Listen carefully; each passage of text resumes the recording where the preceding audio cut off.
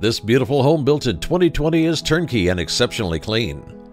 Enjoy a modern kitchen with granite counters and gray cabinetry. The first floor offers a combined kitchen, dining, and living area with vinyl plank flooring. The second floor has a spacious primary suite, two additional bedrooms, and a laundry room. Denise Calkin is ready to answer any questions you may have. Give her a call today.